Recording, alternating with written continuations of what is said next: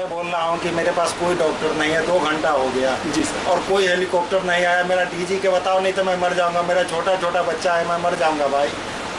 दो घंटा हो गया कोई हेलीकॉप्टर की सुविधा नहीं है पूरा ब्लड मेरे शरीर से निकल गया।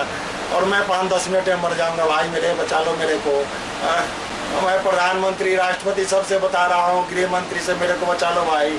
मेरा डीजीपी मुझे बचा लो मेरा छोटा छोटा बच्चा है रे भाई। कोई डॉक्टर दो घंटा से मेरे पास नहीं आया है मैं चिल्ला रहा हूँ। आखिर घटना हुई कैसे? अरे बाप रे आईडी ब्लास्ट हुआ। आईडी हाँ मैं मर जाऊँगा भाई मेरे। मैं बोल रहा हूँ कि मेरे पास कोई डॉक्टर नहीं है दो घंटा हो गया। जी सर। और कोई हेलीकॉप्टर नहीं आया। मेरा डीजी के बताओ नहीं तो मैं मर जाऊँगा। मेरा छोटा छोटा बच्चा है मैं मर जाऊँगा भाई। दो घंटा हो गया कोई हेलीकॉप्टर की सुविधा नहीं है। पूरा ब्लड मेरे शरीर से निकल गया। और मैं पाँच दस मिनट में मर जाऊँगा भाई मेरे बचा लो मेरे को। आ, मैं प्रधानमंत्री राष्ट्रपति सब सबसे बता रहा हूँ गृह मंत्री से मेरे को बचा लो भाई। मेरा डीजीपी मुझे बचा लो मेरा छोटा छोटा बच्चा है रे भाई।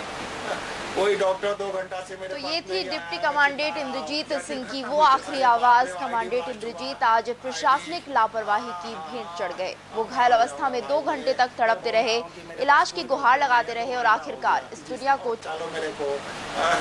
मैं प्रधानमंत्री राष्ट्रपति सबसे बता रहा हूँ गृह मंत्री से मेरे को बचा लो भाई। मेरा डीजीपी मुझे बचा लो मेरा छोटा छोटा बच्चा है रे भाई। कोई डॉक्टर दो घंटा से मेरे पास नहीं आया है मैं चिल्ला रहा हूँ। या फिर घटना हुई कैसे? अरे बाप रे आईडी ब्लास्ट हुआ।